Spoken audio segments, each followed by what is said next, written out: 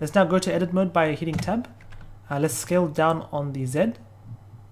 And let's scale just down overall.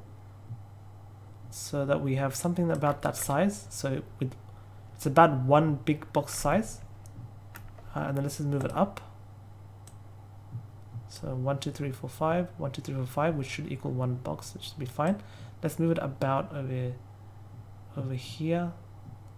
So about four boxes high should be fine. And then we'll go to, uh, on the side view as well, sorry, scale on the uh, Y by clicking and dragging on this green. And make it about as wide as you think a coffee table should be.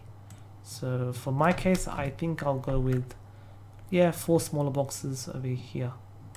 So four smaller boxes on the side and uh, one bigger box or 10 smaller boxes on the front. And the height is about three boxes as well. So once you've done that, just go ahead and add in a loop cut by clicking uh, on this little widget over here and then clicking right in the middle over here. And then now let's go to face select mode and uh, let's go to selection mode. Select this face, shift select this one, shift click, shift click, and then just go to uh, mesh, delete faces. Let's now go ahead and go to edge select, select this edge and also select this edge. And then let's go to vertex, new edge from face, vertices, so that we fill this up with a face. Okay, so we have this style of a coffee table.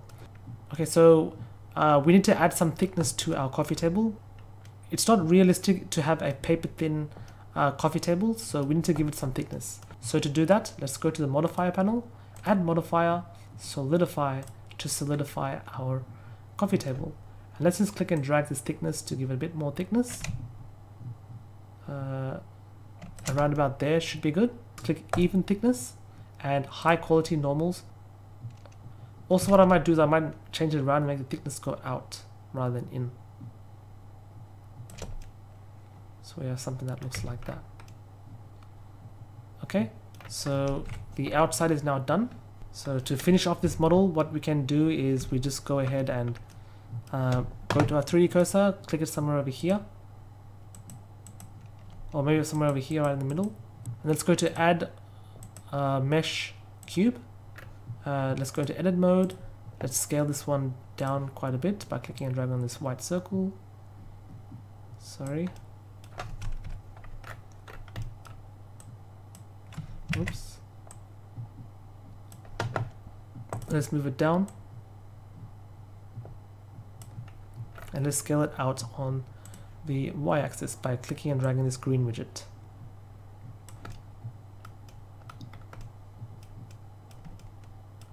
And we'll just move it up just a tad. Alright.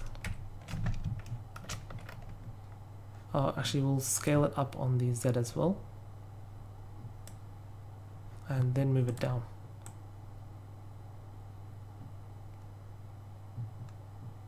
I'll scale it up some more.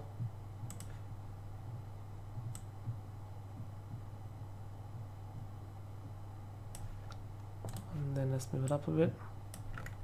Should be fine. Okay, and then let's select the linked. Just select all of that linked. And let's duplicate that.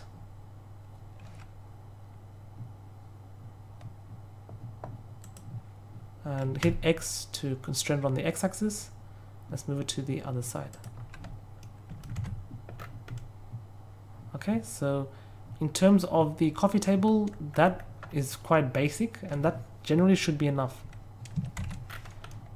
Okay, so it's a very, very basic looking uh, low poly coffee table. So let's give it some basic shader. So let's go over to the material view and for this one, for the stand, Actually, I might just make the stand look a little bit more interesting by going to duplicate that one. So duplicate and then constrain it on the x-axis, but then scaling it out on the x-axis. Oops. Like so. Scaling it down on the z. And then moving it up. Just to add a little bit more visual interest to it. Maybe scaling it down on the y as well. Mm, that should be good. Okay, so that should be fine. So let's select the top part. Let's go ahead and create a new material. We'll call this one coffee top. Oops. Coffee tabletop. Let's give this a nice uh, yellowish brownish color. Something like that. No rough, oh, very low roughness. And for the bottom, we'll call this one the coffee table bottom. Or coffee table stand. And we'll give this a dark brownish color. So something around here. Let's turn up the roughness. Alright so that's it. That's how you create a low poly coffee table using blender. So in the next tutorial we'll create a TV stand for our TV so hope to see you then. Thanks for watching